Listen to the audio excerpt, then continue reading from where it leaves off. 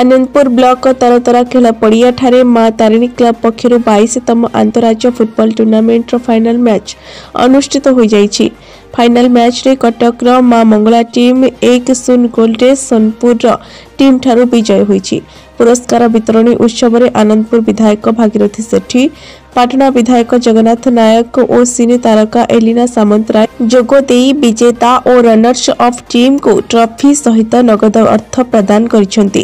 आयोजक माँ तारिणी क्लब्र सभापति सुब्रत सामल नेतृत्व में ग्रामांचल एभली क्रीडार आयोजन कर शताधिक खेल प्रेमी खुशी व्यक्त कर କରିଛନ୍ତି